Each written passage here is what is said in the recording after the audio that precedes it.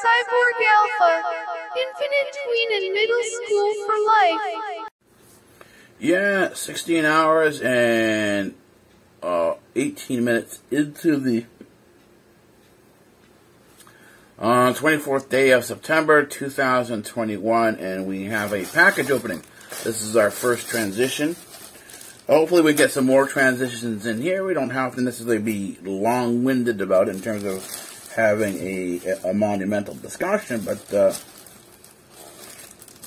nonetheless, here we go. So, this is a two in one package.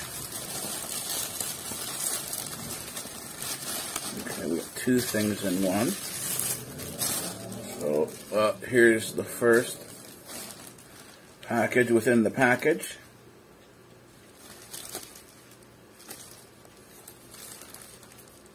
Open it from the side. Seems to be the better option.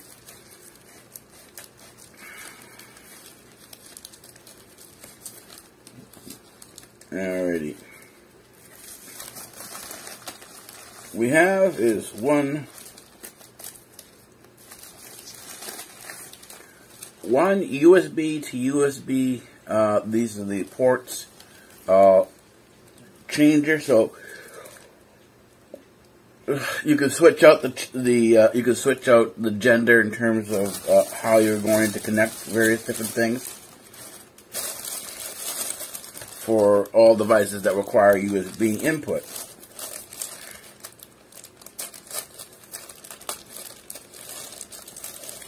Opening the second package now. This is it here. Seems like a cable. It's not, just the packaging. It is two uh, USB female uh, XLR to uh, uh XLR uh, one quarter inch. So the this will go uh, for the music studio. So all in all, not bad. I have a number of ways of getting things done, so yay for that. Uh, now onward and upward for the rest of the day. I'm gonna, get myself some breakfast. I'm just now getting up. Today is a day to uh, more or less sleep all day, but uh, it seems like my body just wants to get up, and that's about it. So uh, that's what we're going to do. Well, it is uh, just 23 hours and 11 minutes into the 25th day of September 2021, and we are ending the road vlog today for at least another couple months. Uh, probably not till April, till the weather gets good again. It's not because of the weather, actually, though. It's because I've blown a tire, uh, and it's going to take me a while to do the repairs and everything. And by that time, it's going to it it's uh, it probably won't be till April that I start writing again. So this is the end of the road vlogs. Uh, uh, this will sort of uh, cap the ending of it. So, uh, watching Lionel, you know, I appreciate what he does. Uh, it, it, may seem like, like I pick on Lionel, but I'm not necessarily picking on him. This is how you do analysis. You know, when a person has and presents things the way they do in certain cases where he uh, has demonstrated a value, then you have to do the analysis. It's only proper to do the analysis. And so, uh, this is what's being done as is the analysis is being done. And this is what analysis looks like. I hate to keep repeating myself, being redundant, but that's kind of what it is. And the thing is, it's not that I blame conspiracy theorists. I just sort of say, well, at a certain time, point in time, the conspiracy theorists get it wrong. And there are there are, are a lot of areas which they get things wrong, and this is something that sort of has to be corrected and the main the way you correct it is by uh, sort of looking at criticism. So maybe I made a mistake here, maybe I made, a mistake there, going back into your sources and seeing how you're analyzing something. But then again, if you're reading simply reading an article, it's not the single article that's going to make make or break the point. Uh, it's you, it's several points of view uh, that will sort of bring in the uh, uh, sort of the uh, not necessarily the final key points, but uh, uh, uh, enough key points that you can make some degree of decision. Because you're not going to see everything. You're always it's, always going to be an approximation. This is something you have to get used to. Is analysis is always going to be the approximation. You're never going to get something complete and concrete. That being said, is but give an example, and this is what I'm talking about in terms of uh, the proper levels of research. Is it's going to take time, and I'm not talking about weeks and months. I'm talking about years. One of the key factors, and, what, and, and I'm pretty sure that most people haven't done this. Go read Dostoevsky. Read it in the order that that, that I'm telling you right here. Read um, Brothers Karamazov. Look up the character of uh, of uh, Father Zosimas compare him to uh, Ilyusha and see how that character develops. These two characters characters develop, and then go from there. Go to the uh, idiot, and then to the possessed. That's uh, these are those two more books that are written by uh, uh, Dostoevsky, and then go to uh, uh, Crime and Punishment and look at the character who is a humanist as the as a representative uh, in some ways of the behavior of society and point to where we are in the book. And I've done this already. I've pointed out that, that, that we are near the end. We are seeing random destruction. Oh, which means that we are on the path to self-destruction. And you will see all the key points there. You will see, you know, know addicts to the whole thing, oh, they're talking about communism, they're talking about Marxism. Well, there's enough that come up on the sort of the opposing side to things that say, oh, oh, this is what capitalism, this is what, you know, what this is. You know, they, they come up with these arguments, uh, and this is from a number of sources that I've seen, uh, political and otherwise, uh, bringing up the, the Marxist line and this whole thing that, that, that Marxism and capitalism is nothing more than a planned society. Well, this is his this is Lionel's definition of this. Where he's where has he been throughout history? I mean, he's the one who says history is important, sort of, because he also says that history be a, history would be a wonderful thing only if it were true, quoting Tolstoy. But he doesn't tell you where that, that quote comes from. I mean, was uh, Che Guevara a communist? No, not from his point. That's not a planned economy. Neither was Castro. Neither was uh, Mao. Neither was uh, uh, Pol Pot for the Khmer Rouge in Cambodia. These were not all communists. But the, the, the, what happened in Burma, that wasn't communism because it wasn't a planned economy. And so what happens is unless things meet these particular views and sort of definitions, he has a tendency to dismiss things. And then, but that doesn't necessarily mean that that that. Uh, and again, it's not an issue of, of me agreeing or with me agreeing with it or disagreeing with it. It's noting that where he's getting the information from, and he's getting it from his friends. If you listen to his past and go go study who he was in the past, you begin to realize he was very well connected with a lot of people in entertainment and a large chunk of what he's saying, his, opinions, were shaped, shaped by the environment that he's in. People's views, their opinions, their thoughts and ideas are often shaped by the people they hang around with. They're shaped by their environment. And this is, Lionel is no exception. So when you're looking at Lionel, you're also seeing the environment that he was part of and is part of.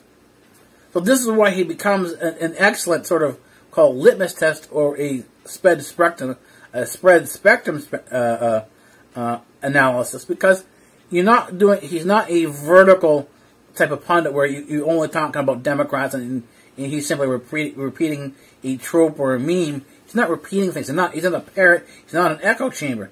He comes up with his own ideas. He, he, he expresses his own thoughts and ideas.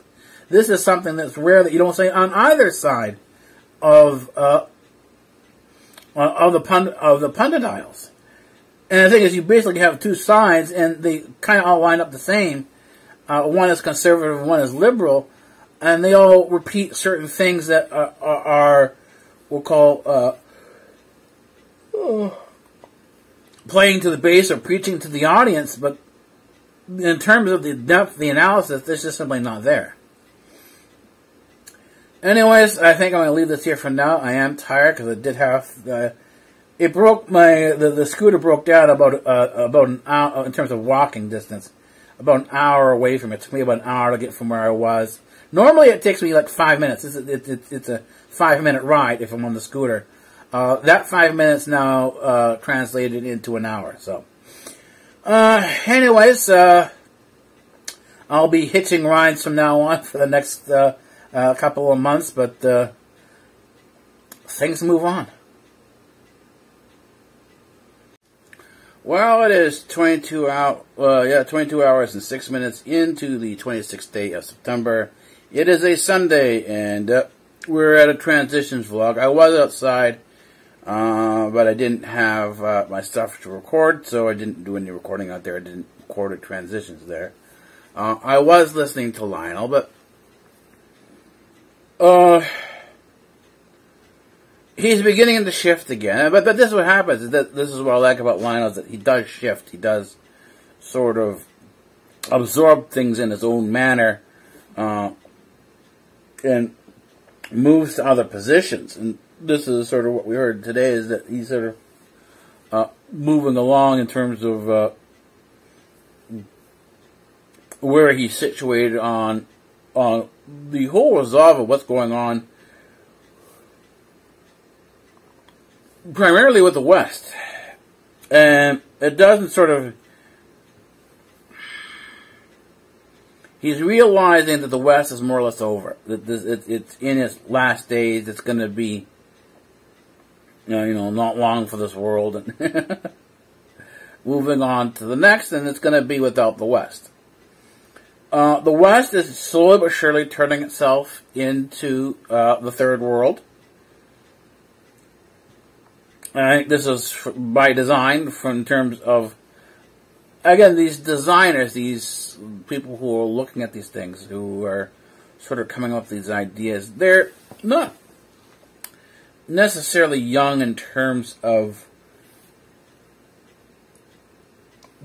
being teenagers, but they are, you know, between 35 and 45 and don't have don't seem to have any sense of history. Uh, their ideas are uh, something like that of a four-year-old in terms of how you would go about redesigning something be, to be better. Matter of fact, I've I've heard better designs uh, for future cities and so on and so forth from from six year olds than working on a Lego set than I've seen from a large chunk of the people, well, even from those who are at Davos.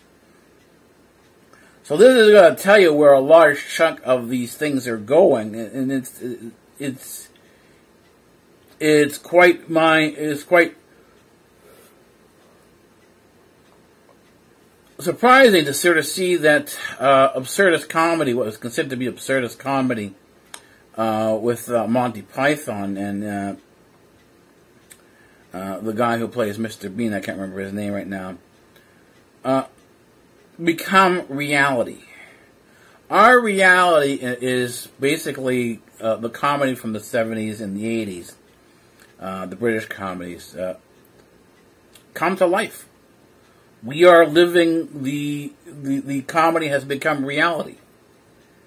The absurdity has become reality. And we're continuing to move down this path at a very fast and rapid rapid pace. So where it's going to end up is uh, kind of anyone's guess, but uh, but then again, this is uh, a Sunday, um, my first Sunday without doing any scooting the first day without doing any scooting because the the tire is gone. Uh, there's uh, and it's going to take me uh, a while to sort of repair things. It's going to I won't be finished the repair and and getting a new scooter uh, until April, so there will be no more uh, uh, road vlogs until then. so it's like taking the winter off because you can't really scoot in the winter anyways. But and the weather's starting to get rainy and really bad around here, so. Uh, we'll have to sort of see what's happening. So, anyways, uh, I've got uh, my YouTube stroll kind of uh, uh, sort of lined up for now. I'm going to begin and continue along with some of the work I need to get done uh, over the next couple of hours. Anyways, I'll see you probably in in, in a couple hours to do a video once it's gone past midnight on the 27th to come back and do this because uh, now there's only a single vlog. So, all right, I'm trying something new here a little bit. um, it's our life. The question of the day they asked is, um, is it fall weather where we are? And up in, up, up in Toronto, and yes, it is. We are having a vortex come through our area, so uh, the vortexes typically bring in cold weather. Uh, that drops the pressure. The pressure drops significantly, and as the pressure drops, so does the temperature. So that's the answer to that. While I'm back in from observation, I've started the YouTube stroll. We went to uh, YAWI Vlogs. From there, we headed over to Toa, the uh, Ohana adventure, and they're back from their uh, month-long uh, road trip. I would have liked to see more of the road trip. I like I like the RV travel things. Uh, I have an RV uh, myself. I have an affinity for RVs. And so I like to see a large chunk of these road trips, but uh, uh that wasn't necessarily the case. So,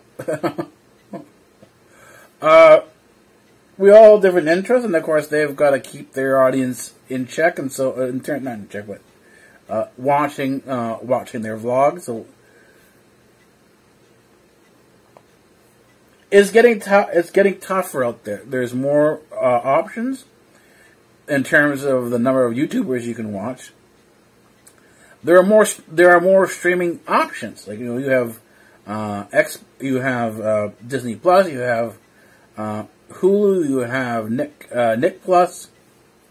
So you have uh, that as a competition as well. So uh, it is getting tougher to to get to pull in a larger audience. So you always have to, some ways, uh, uh keep reinventing yourself if it's about the viewership in terms of how how many people view you. Uh, if it's a sort of a matter, in my case, a matter of of record in terms of slower growth, and my growth is pretty slow. So, but it's growing.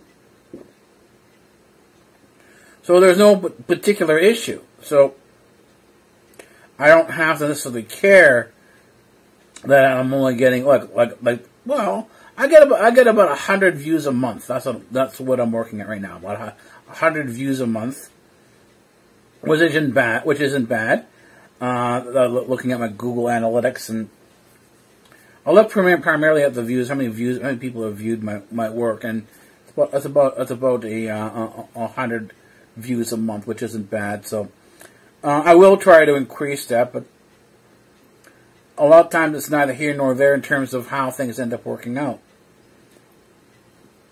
Because you do, are, you're still going to move forward. You're still going to produce. You're still going to grow. Uh, it's called it's, it's experimental TV because that's what it's about. It's about pushing some of these boundaries, uh, challenging the things you think you can or can't do on uh, YouTube. Uh, and things are things you can and can't say. It's a matter of sort of many cases if something is offensive in one way, maybe you can rephrase it so it's not as offensive. And there's someone's always going to be offended, but if you can do it in such a way that uh, that you say oh, that, that the person viewing it, so in terms of the review, says, "Oh, you know, you're you're all right. You don't have any particular issues." I know there are certain uh, areas of issue but you handled them tactfully, and there's enough of uh, leeway there that uh, there's no fundamental issue. So that's my approach to things. And as I said, when I do, they said when I do use term idiot or moron, I define it because there, there is more than one context uh, than simply calling someone an idiot. Uh, the typical phrase idiot is a derogatory and has no fundamental meaning behind it. However, Dostoevsky, uh, who is a very famous author. Uh, this was in the 1800s, anyways. This is an older author. Wrote an entire book on idiots, and it was at that time when the term idiot had a different meaning than from today. Uh, the the idiot uh, was the person who now today we call uh, mentally challenged. That's who the idiot was.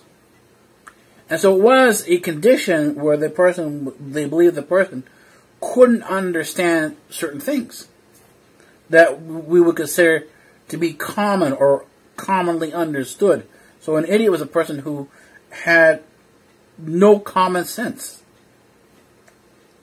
Again, this term common sense, again, it comes out of the 1800s. It has a particular meaning to it. So you have to, in many cases today, you have to define, well, why I, why am I using this particular term? Where am I getting it from? Where am I bringing it from?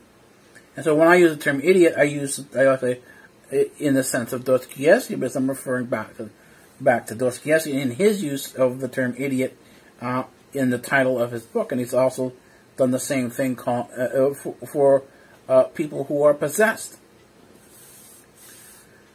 So, we're back in. I'm heading off to the kitchen right now. Uh, I have some preparation work to do, and from there, uh, back to the uh, YouTube stroll. We are Cyborg Alpha, Infinite Tween and Middle School for Life.